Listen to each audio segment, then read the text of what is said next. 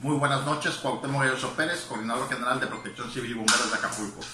Por este medio hago un comunicado a la población acapulqueña a que extreme sus precauciones, ya que hace unos minutos sufrimos en el municipio de Acapulco un fuerte sismo de magnitud 6.9 preliminar en la escala de Richter, con hipocentro a 14 kilómetros al sureste del municipio de Acapulco de Juárez hay que extremar nuestras precauciones, hay que activar nuestro plan familiar de protección civil, hay que tener especial cuidado de algunas réplicas que se puedan, que se puedan generar, hay que evitar salir a la calle eh, donde haya postes de energía eléctrica, cableado eléctrico, hay que, hay que por favor checar nuestros, nuestros inmuebles que no hayan sufrido afectaciones eh, de considerables.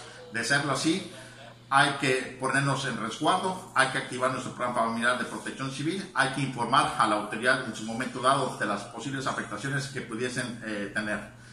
Eh, la zona de, de, la escénica tiene eh, afectaciones por deslaves, le pedimos a los automovilistas no transitar por esa zona, hay que tener rutas alternas y hay que estar previstos o prevenidos de algunas réplicas que se puedan originar. Este sismo se sintió eh, demasiado fuerte por la cercanía en el municipio de Acapulco y, toda vez que tuvo una profundidad a 10 kilómetros.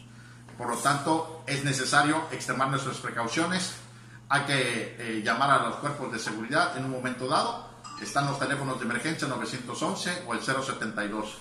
Pero les pido de manera encarecida hay que activar nuestro plan familiar de protección civil, hay que resguardarnos, hay que protegernos y en su momento dado estaremos eh, realizando el apoyo a toda la ciudadanía.